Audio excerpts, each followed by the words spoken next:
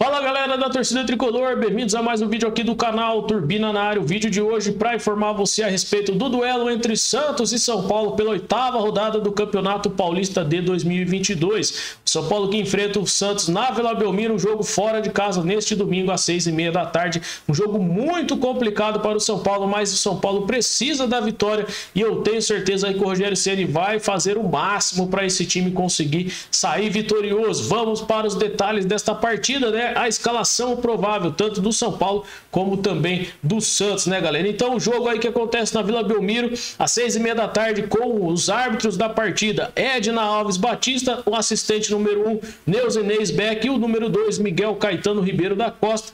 O VAR fica por conta do Rodrigo Guarizo Ferreira do Amaral, e onde você pode assistir este jogo, né, galera? Paulistão Play, Premier e Record TV, tá certo? Vai passar aí na rede aberta. Em tempo real, você pode acompanhar pela fonte aqui das informações, que é o lance, tá certo? Que estou acompanhando aqui pelo lance.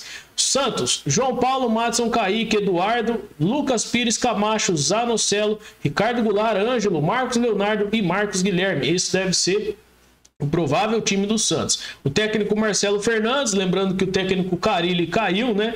Devido aos últimos resultados, os pendurados da partida aí, Kaique, Zanocelo e Vinícius Balieiro e desfalque o Carlos Sanches. Pelo São Paulo, galera, escalação provável do Rogério Ceni: Jandrei, Rafinha, Arboledo, Diego Costa, Reinaldo, Rodrigo Nestor, Gabriel Sara, Alisson, Nicão, Rigoni, Caleri. Esse deve ser o time do Rogério Ceni. Está aqui, né, praticamente em várias é, fontes, em plataformas aí, falando que esse é o provável time. O que pode aparecer é o Miranda no lugar do Diego Costa, galera. E alguma opção ali na frente, talvez o Marquinhos deve, deve entrar ali no lugar do Nicão, né? Ou do Rigoni.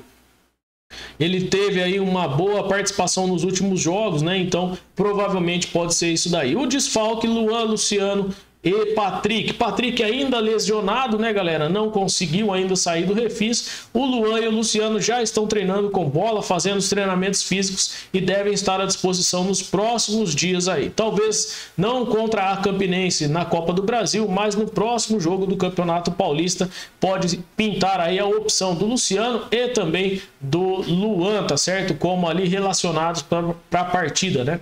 O São Paulo que precisa muito da vitória fora de casa, teve a derrota derrota contra o RB Bragantino e contra o Guarani e a vitória contra a Ponte Preta, né? Infelizmente no Morumbi o São Paulo não vem tendo bons resultados. Fora de casa agora busca a vitória contra o Santos, que seria de extrema importância para esse time aí do Rogério Ceni. Além do mais, o São Paulo que precisa também de uma vitória para conseguir subir na tabela, permanecer ali pelo menos na segunda colocação da fase de grupos, lembrando que o São Paulo é do grupo B, tem ali a Ferroviária que está um pontinho atrás apenas e o São Bernardo que está ali um pouco à frente. Então o São Paulo precisa muito muito dessa vitória.